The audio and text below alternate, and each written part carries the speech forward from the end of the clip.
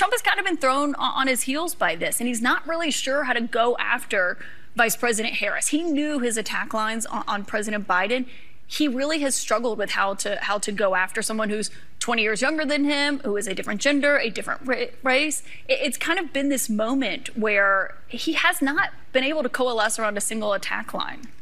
I know you guys are objective over there, that you just report the news as it is. Oh, I know. CNN makes a. I know. Was that supposed to be a laugh line? I wasn't supposed to be, but uh, I guess it is. Even the pathetic losers in Stephen Colbert's audience think CNN's a train wreck. when liberals think you're too liberal, you know you have a problem.